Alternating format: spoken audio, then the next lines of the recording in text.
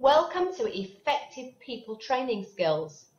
Let's now learn about on-task skill coaching and see how that overlaps and works within the experiential learning cycle.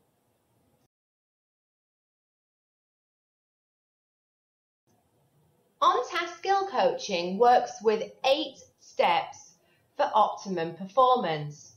We'll look at each of those eight steps in much greater detail. Experiential learning works by linking existing knowledge to new knowledge, and that mirrors the natural learning patterns of our brains.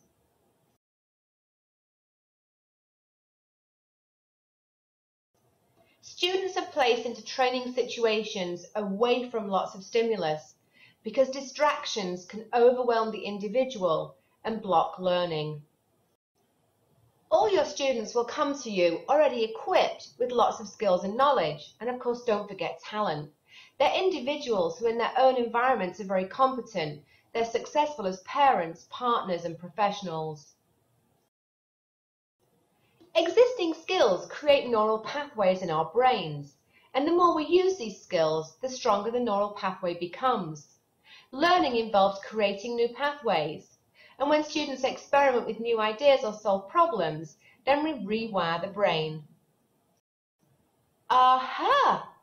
When we have aha moments, then our brain is changing and we're creating new cognitive maps. These new pathways need to be reinforced or they can fade away. So how do we help our students and our clients become competent? Well, the learning cycle helps rewire the brain and create new maps that are reinforced. Action helps cement neural pathways, and that helps us to facilitate our students becoming competent. On task skill coaching, there are eight steps in the process, and each step touches on one minimum component of the learning cycle. The first is to open the session. Obviously, you already know the client. So you're going to introduce the session. What are you training? How are you training it? What is the goal? And why are you doing this? How is it relevant to the owner, to the pet owner, the student? Step number two, show the finished skill. Demonstrate the finished skill systematically. It's very motivating when they see the finished product. Think about those cooking shows we used to watch. The first thing they do is show you the yummy pie. Here, this is the finished product. Step three. This is a one-way demo where you work slowly and precisely through each fundamental component. This allows the student time to reflect and observe. Four, the two-way demo. This time when you demo, you're going to slowly narrate what you're doing, including all the whats and whys. You're actually going to involve the student. This gives them a chance to watch, observe, reflect, and start to think about the actual process and what they're experiencing. Step 5. The trainee now performs the task. And during the performance, you question them on the what and the why to encourage reflection. But first, take them through a thorough review of what happened when you did the second demo so they can begin to evaluate the task and what they're about to do.